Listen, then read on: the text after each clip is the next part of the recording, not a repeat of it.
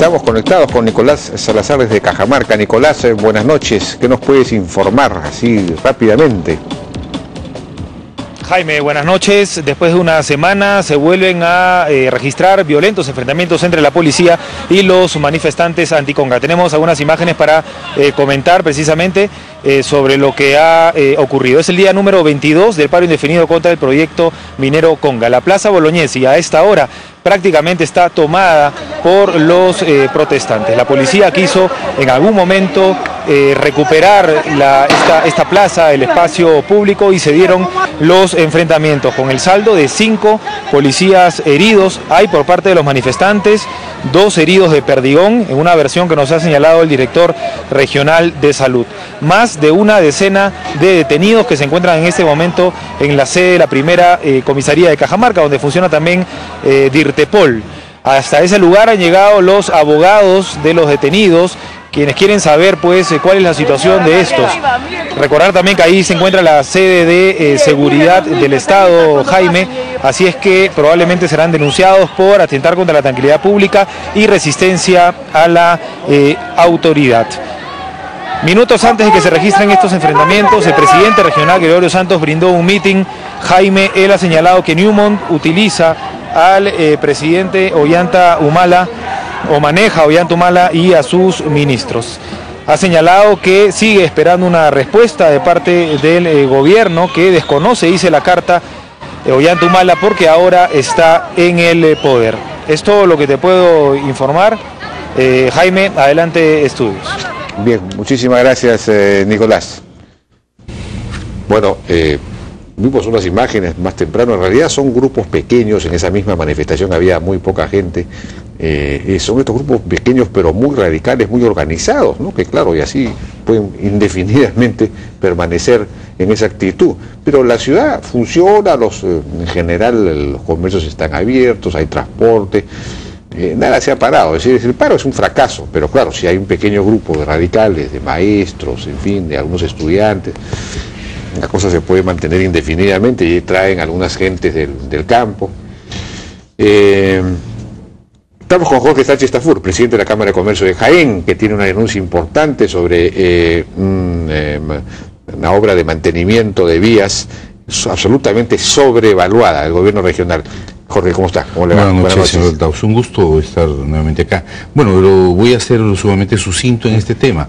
El, eh, en mes de agosto del año pasado, el gobierno regional de Cajamarca, a través de la Gerencia Subregional Jaén, convoca al concurso público número 01-2011 GRK-Gerencia eh, Subregional Jaén, para el servicio de gestión, conservación y mantenimiento por niveles de servicio de infraestructura vial en Jaén y San Ignacio, dos provincias. Este proceso fue convocado como servicios. y no obstante, eh, tener dentro de sus componentes eh, obras que ya lo, lo, convertían en un más en un contrato de, de, ejecución de obras y no de servicios. Ahora, ¿por qué hicieron esto? Para evitar el control de Infoobras por parte de la mm. Contraloría General de la República y para evitar una serie de requisitos adicionales que se mm. piden a los postores cuando se tratan de procesos sobre obras. El proceso fue convocado por 155 millones 468 mil eh, nuevos soles y fue adjudicado finalmente por eh, la, suma de 148 eh, millones y algo más.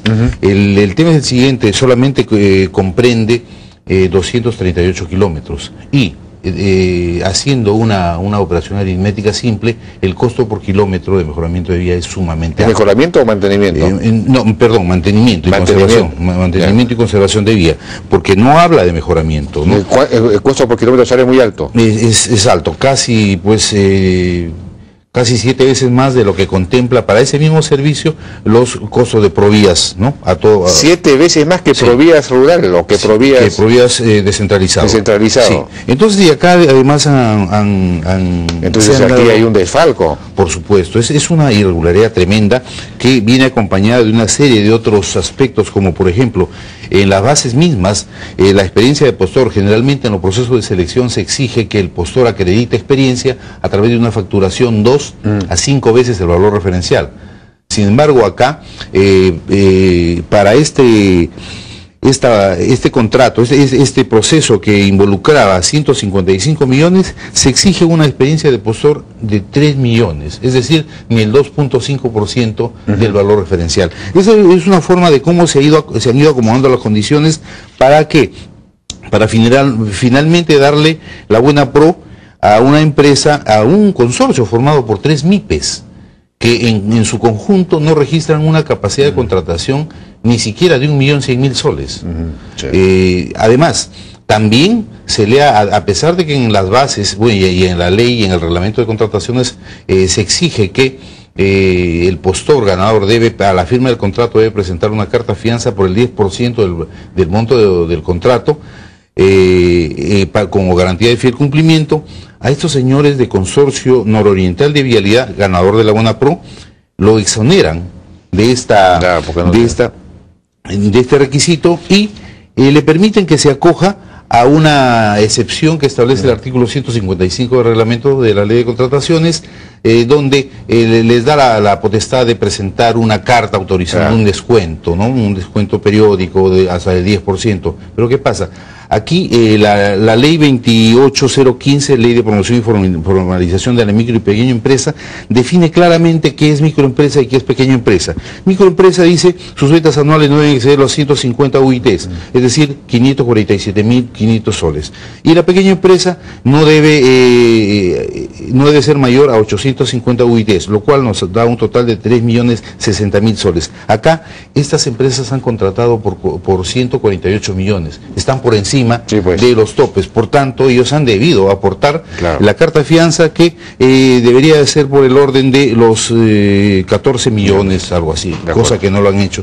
Y hay una serie de irregularidades. Habría, que ver quiénes son estas personas. más, ¿Qué vinculación tienen con...? Eh, claro, hay una vinculación evidente por cuanto el, a, este proceso no es que no hayan concurrido empresas de, de cierta solvencia.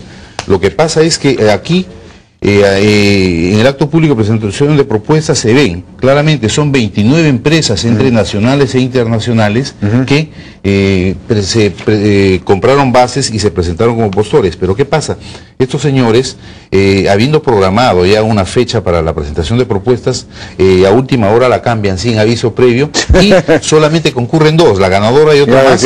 y los otros 27 quedaron como desistidos. De tal forma que nosotros hemos conversado hace unos instantes con el Contralor, con el señor Juan y mañana estamos entregando toda esta documentación en la Contraloría para que eh, esto tiene que ser examinado por un equipo de expertos y determinarse que realmente aquí ha habido un manejo doloso de todo este proceso. Pues. y ojo, se está regalando la plata. Y son los recursos del canon y sobre canon. Parece que Gregorio Santos no quiere, le quema la plata de la, del canon, por eso quiere regalársela al primero que pase por, por ahí. Muy bien. Muchísimas gracias, gracias por esa denuncia y lo felicito realmente por su preocupación por esos asuntos fue el señor eh, Jorge Sánchez, eh, presidente de la Cámara de Comercio de Jaén.